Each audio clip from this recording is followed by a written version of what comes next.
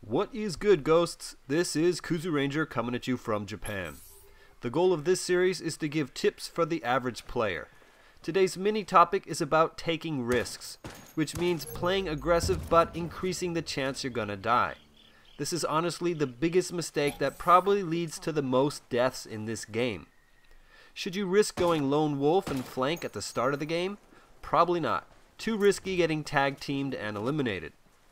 Should you risk going 1v1 in a straight up firefight if you have good positioning within your weapon's range?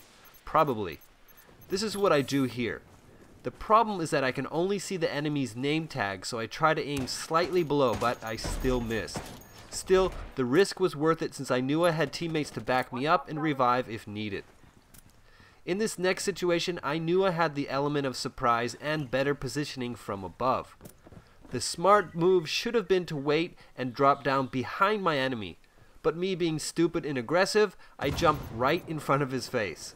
This is extremely risky, and even though it pays off, we can clearly see this is the wrong move. Wait for it right here. Simply an unnecessary risk.